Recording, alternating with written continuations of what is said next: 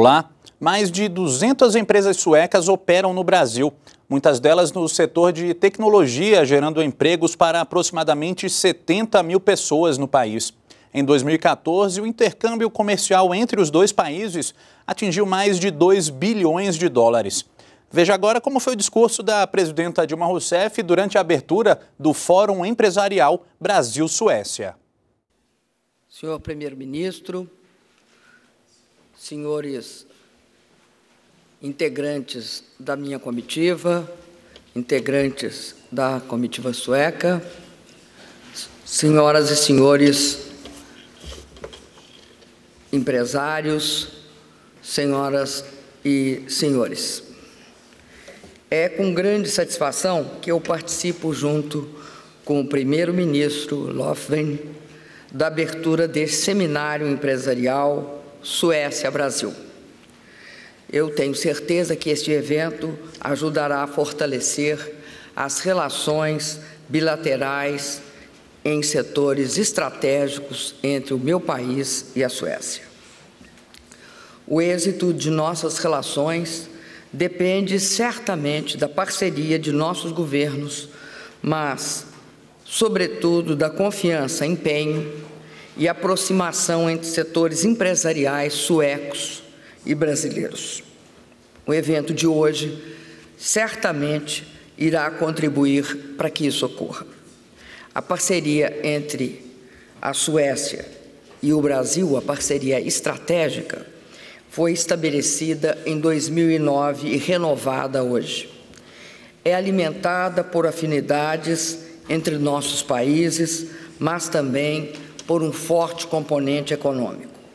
O intercâmbio bilateral comercial cresceu 45% nos últimos 10 anos. Nós temos de ampliar esses números, diversificando a pauta comercial. Existe um potencial para a participação de produtos manufaturados brasileiros e também para se aumentar a presença de produtos manufaturados suecos na nosso fluxo comercial. A Suécia é um tradicional investidor no Brasil. Suas empresas estão presentes em setores tecnológicos, como é o caso do setor de telecomunicações, o setor farmacêutico, de aviação e de defesa. Entre 2009 e 2014, os investimentos suecos mais que triplicaram. O estoque de investimentos suecos no Brasil soma em torno de 4,5 bilhões de dólares americanos. Não por acaso, São Paulo é considerada por muitos como a segunda maior cidade industrial da Suécia. No Brasil, todo estima-se que 70 mil pessoas trabalhem em 200 empresas suecas. O Brasil continua a ser uma opção segura e atraente para investimentos. Somos um país que oferece grandes oportunidades e possui ambientes de negócios sofisticado e seguro. Somos uma grande democracia. Nossa economia tem fundamentos sólidos e estamos trabalhando de maneira decidida para fortalecer sua saúde fiscal, retomando o equilíbrio, reduzindo a inflação, consolidando a estabilidade macroeconômica, para aumentar a confiança e garantir a retomada do crescimento que nosso país significou nos últimos dez anos, inclusão de mais de 36 milhões de pessoas. Consideramos fundamentais os investimentos suecos no Brasil, porque pretendemos passar de um país de, em desenvolvimento para uma economia desenvolvida, sem aumentar a competitividade, portanto, sem inovação e sem educação de qualidade, não faremos isso. Daí a importância para o Brasil da parceria e da presença das empresas suecas no nosso território. Nós, por exemplo, possuímos um dos maiores programas públicos de saúde do mundo. E este programa abre grandes oportunidades para as empresas suecas no complexo industrial da saúde, que conjuga investimentos na produção e na prestação de serviços nessa área. Queremos, por exemplo, atrair empresas suecas para parcerias que promovam a produção local de equipamentos médicos hospitalares. Outro tema de grande convergência entre nossos países é o desenvolvimento sustentável. Tenho a honra de participar do grupo de alto nível junto com a Suécia, nessa que será o grande esforço de combater a mudança do clima na COP 21. Compartilhamos o compromisso de buscar o desenvolvimento econômico com a inclusão social e a proteção dos recursos naturais. Recordo que a primeira conferência sobre clima foi realizada na Suécia, seguida da Rio e agora, recentemente, da Rio Mais 20, em 2013.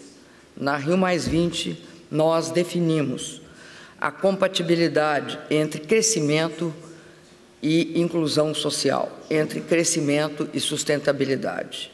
Daí definimos os definimos os princípios de que é possível crescer, incluir, conservar e proteger. Juntamente com eles, definimos também a necessidade de substituição dos Objetivos de Desenvolvimento do Milênio pelos Objetivos de Desenvolvimento Sustentável pós-2020. Daí a importância do convite feito pela Suécia ao criar o grupo de alto nível para contribuir para a implementação dos ODS. Contamos com o apoio do setor empresarial nesse processo.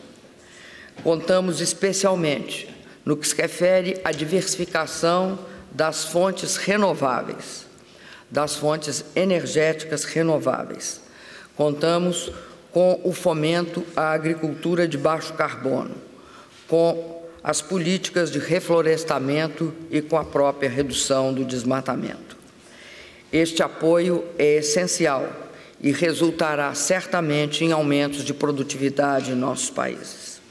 Senhoras e senhores, a aproximação entre Suécia e o Brasil ocorre no momento em que dinamizamos nossa cooperação e inovação com o projeto GRIP NG para a Força Aérea Brasileira. Essa aquisição corresponde também ao maior investimento sueco no Brasil na atualidade, relacionado ao desenvolvimento do conjunto de aviões caça.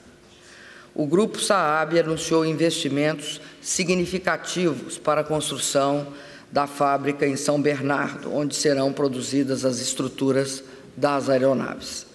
46 engenheiros brasileiros iniciaram suas atividades na sede da Saab em Lichopin, fábrica que hoje visitarei.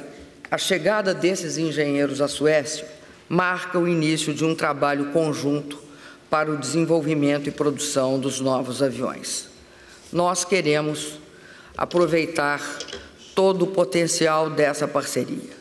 Queremos, inclusive, reproduzi-la em outros setores em nossa relação econômica, com um incentivo à inovação, à produção industrial e à capacitação de recursos humanos. Também o Brasil vai apoiar as empresas do nosso país em seus investimentos na Suécia, realizando missões e eventos que ajudem a identificar oportunidades de negócio. Importantes companhias brasileiras, como a VEG, a Fitesa, a Dudalina, estão presentes na Suécia. Queremos que sirvam de exemplo para outras empresas. Senhor Primeiro-Ministro, senhores empresários, senhoras empresárias, o Mercosul está preparado para apresentar suas ofertas, sua oferta comercial à União Europeia e, a partir daí, estabelecer um acordo comercial ambicioso e extremamente vantajoso para ambas as partes. Este acordo abre para a União Europeia e, em especial, para a Suécia, todo o mercado da América do Sul e certamente a partir daí funcionará como uma plataforma para o restante do continente. Como podemos ver, contamos com um relacionamento econômico, comercial, bilateral e mesmo multilateral denso e dinâmico.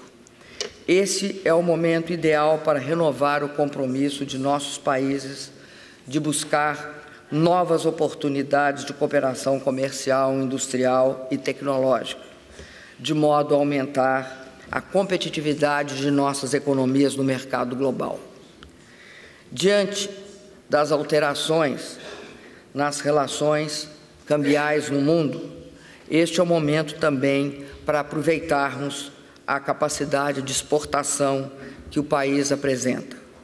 Queremos funcionar também como uma espécie de plataforma para as empresas suecas em relação a todos os mercados nos quais o Brasil tem uma posição de destaque. Quero finalmente aproveitar essa ocasião para reiterar que nós, o Brasil, esperamos de braços abertos os atletas e visitantes suecos para a realização dos Jogos Olímpicos e Paralímpicos de 2016 no Rio de Janeiro.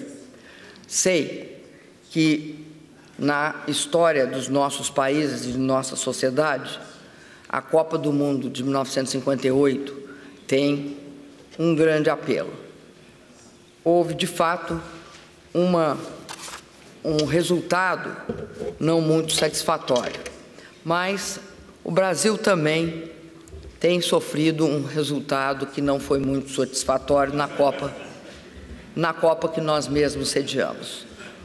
Para os países, para as pessoas, para as nações e para os times de futebol, o que importa é ser capaz de insistir e de buscar superar algumas derrotas. Essas derrotas são inexoráveis na vida das pessoas, dos países e dos times. Agora, certamente, o que faz um país grande, um time grande e uma pessoa também grande é a capacidade de superar e vencer novamente. Estou certa que tanto a Suécia quanto o Brasil têm todas as condições de vencer no futebol e na vida. Muito obrigada. A presidenta Dilma Rousseff concedeu agora há pouco uma declaração à imprensa e, na sequência, participa de um almoço na Prefeitura de Estocolmo. Mais tarde, ela deve visitar as instalações da empresa Saab, fabricante dos caças Gripen, comprados pelo Brasil. E nós podemos voltar a qualquer momento com outras informações. Continue com a gente na NBR, a TV do Governo Federal.